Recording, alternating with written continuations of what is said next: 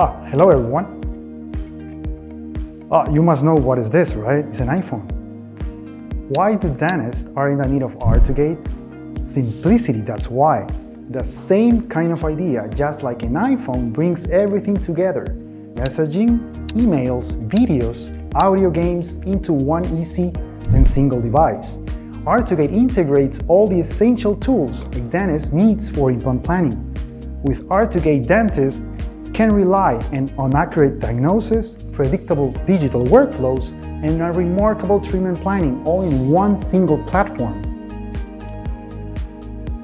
It's not just about technology, it's about making implant surgery simpler, safer, and smarter. Welcome to R2GATE Standalone. Okay everyone, for that being said, I'm gonna introduce myself. I'm Dr. Luis Anderson from Megagen South Korea.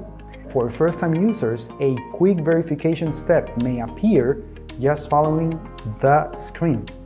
And then you're in, welcoming you to R2GATE S standalone, where smart implant planning begins.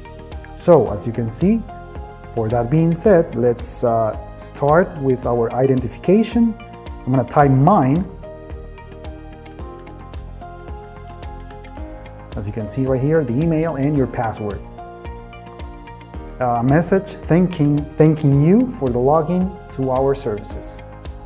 So right after, right here below, we have a new approach for our SNS content. As you can see right here, we have our YouTube apps and Instagram as well. Right here on the, on the middle, we have R2 Lite, in which, as you all know, we can verify our implant planning in our own smartphones. And as well, we have another app that is our R2CAD, in which we can regenerate our prosthetics from our new app right here incorporated. On the top area right here on settings, we're gonna hit this button right here.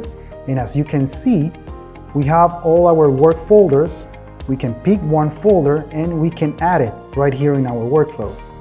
At the same time, uh, this new layout has incorporated our up, update history in which we can access our history and our product label and as well we can change in different languages.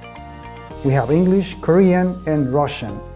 And for a future uh, process, we're gonna integrate more languages. We're gonna choose one case. We have this example here. And as you can see, it's gonna display this implant icon, new icon, in which I'm gonna show you how the new layout looks.